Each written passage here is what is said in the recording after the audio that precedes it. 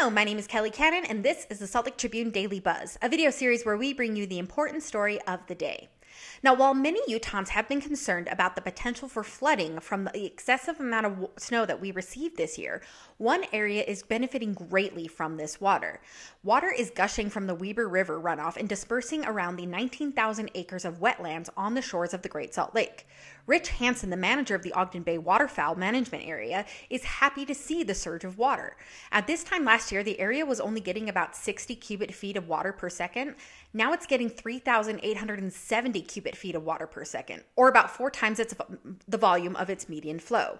Now, this water is being released onto the wetlands so it doesn't end up in people's basements.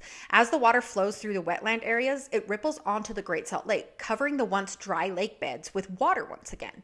Now, while it's only a few inches deep, it is enough to dampen the source of the toxic dust that has been the focus of the dying lake.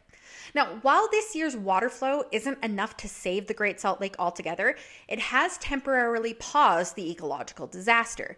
The lake sank to record lows in the past two years, killing nearly all of the brine flies and nearly all of the brine shrimp. However, this year the lake is up 3.5 feet from that record low.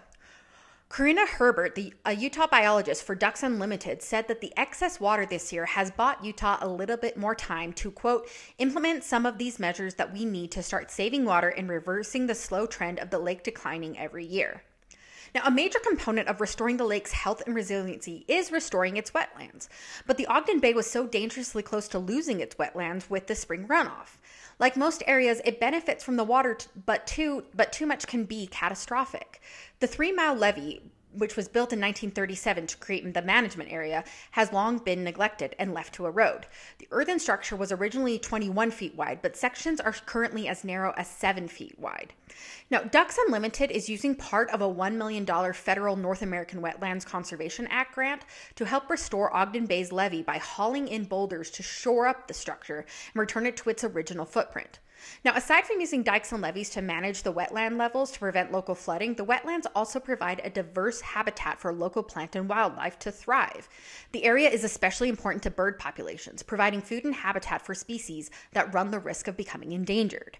Now, having healthy wetlands also improves the water quality for the lake and helps recharge the groundwater. To learn more about the importance of these wetlands near the Great Salt Lake, be sure to read Leia Larsen's article that we've linked below. Now, we want to hear from you guys. What do you think about the wetlands near the Great Salt Lake? Do you have any memories of being at the wetlands or seeing birds or watching the bird migrations at the wetlands? Comment below or you can tweet us at SLTrib. Thank you guys so much for watching. We really do appreciate it. If you want all of our Daily Buzz videos and basically all of our videos as soon as they are live, be sure that you're subscribed. You can also find us on social media, including TikTok, Instagram, and uh, Twitter uh, at SLTrib. Thanks.